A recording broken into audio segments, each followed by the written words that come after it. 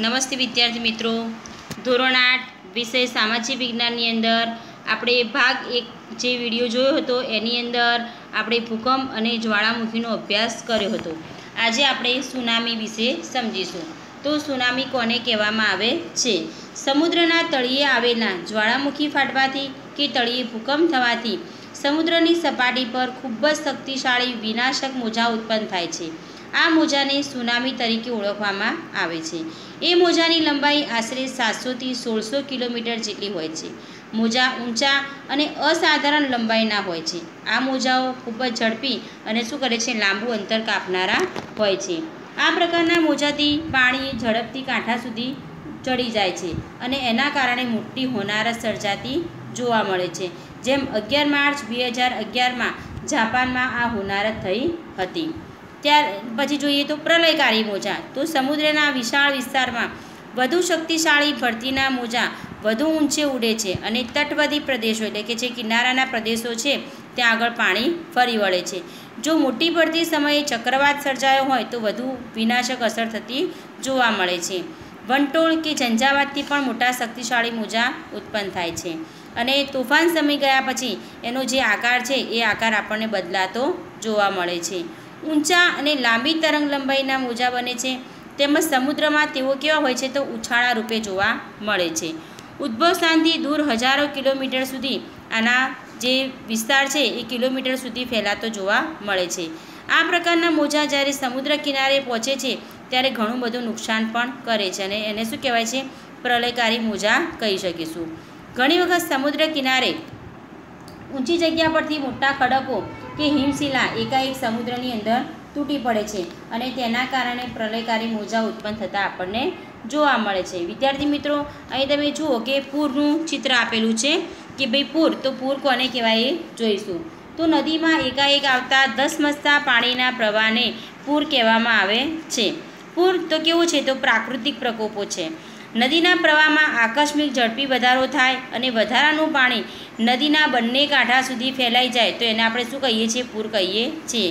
અને એ પાણી થોડા સમય સુધી ઘણી બધી અસરો કરતી જોવા મળે છે અને ઝડપી અસર રહે છે અને એના કારણે નદીનું પૂર કહી શકીશું. તો પૂર આવવાના મુખ્યત્વે બે કારણો છે. ચોમાસામાં જો નદીના ઉપરવાસમાં ધોધમાર વરસાદ પડે તો પૂર આવતું હોય છે. નંબર બે કોઈ નદી પરનો જે બંધ છે, એ બંધ તૂટી જાય તો પણ પૂર સર્જાતું હોય છે.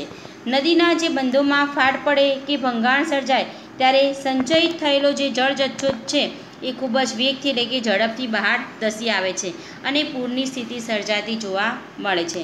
જેમ અગિયાર ઓગસ્ટ ઓગણીસો ને ઓગણસીના રોજ ગુજરાતમાં મોરબી એ જળ હોનારત એટલે કે મચ્છુબંધ તૂટી જવાના કારણે થઈ હતી.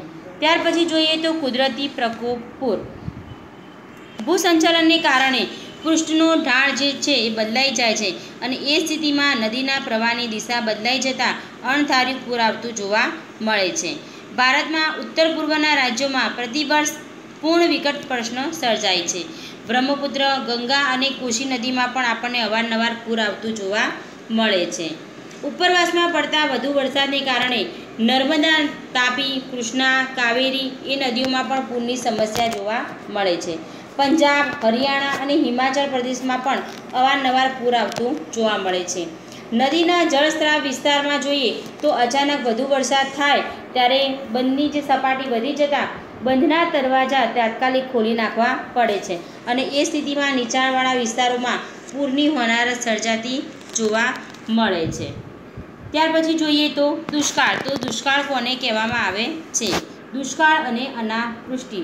વરસાદ ન આવવાથી ખોરાક પાણીની અછત સર્જાય અને જમીનમાં પાણી સુકાઈ જવાની ક્રિયાને દુષ્કાળ કહે છે.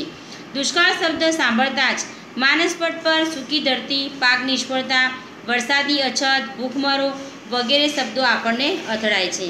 વરસાદ અલ્પ માત્રામાં એટલે કે ઓછી માત્રામાં પડ્યો હોય તો પાણીની કારમી તંગી ઊભી થઈ હોય છે અને ખેતી ન થઈ શકે, પશુઓને ઘાસચારો ન મળે, આપણને અનાજ ન મળે એ બધા લક્ષણોની સામૂહિક જે સ્થિતિ છે તેને આપણે દુષ્કાળ કહીએ છીએ. સતત બે ત્રણ વર્ષ સુધી વરસાદ ન આવે, વરસાદ ઓછો આવે ત્યારે દુષ્કાળની પરિસ્થિતિ સર્જાતી હોય છે. દુષ્કાળ પડવાનું મુખ્ય અને મૂળ કારણ કયું છે તો અલ્પાવૃષ્ટિ. અલ્પાવૃષ્ટિ એટલે કે ઓછો વરસાદ.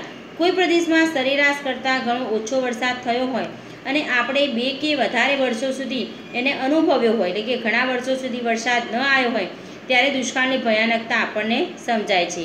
આ પરિસ્થિતિ ઘણી સમસ્યાઓ પેદા કરે છે અને વરસાદનું પ્રમાણ ઘટવાની પ્રક્રિયા પણ કેવી છે? ધીમી છે.